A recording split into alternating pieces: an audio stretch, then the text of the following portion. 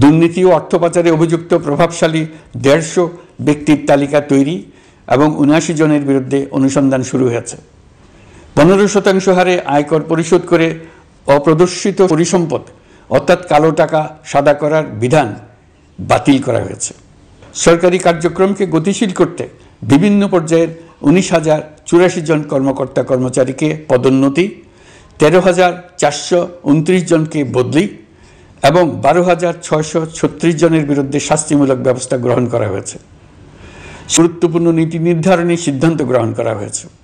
ছাত্রছাত্রীদের দাবি মেনে ইতিমধ্যে সরকারি চাকরির বয়সসীমা বত্রিশে উন্নীত করা হয়েছে।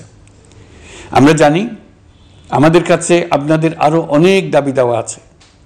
দীর্ঘদিনের অপশাসন, অত্যাচার, অনাচারের ফলে আপনাদের মনে অনেক ক্ষোভ পঞ্জীভূত হয়েছে। দেশে বাক স্বাধীনতা না থাকায় আমরা কেউ আমাদের মতামত, দাবি দাওয়া প্রকাশ করতে পারিনি। আমরা আপনাদের প্রতিটি দাবির প্রতি সহানুভূতিশীল। আমরা ধৈর্য সহকারে আপনাদের কথা শুনতে চাই। কিন্তু সেজন্য আপনারা সড়ক অবরোধ করে জনদুর্ভোগ সৃষ্টি করলে আমাদের সকলেরই অসুবিধা হয়।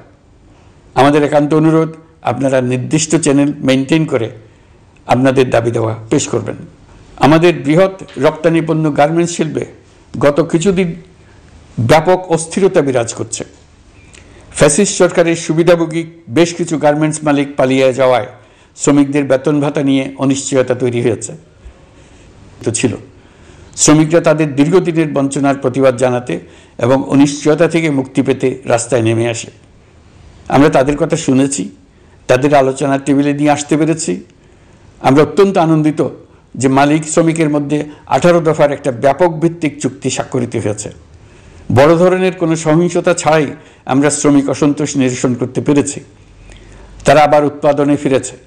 এতে প্রাণ ফিরে পেয়েছে বাংলাদেশের রপ্তানিমুখী এই শিল্প। নানা প্রতিকূলতা সত্ত্বেও অক্টোবর মাসে আমাদের রপ্তানিতে প্রবৃদ্ধি হয়েছে প্রায় একুশ শতাংশ।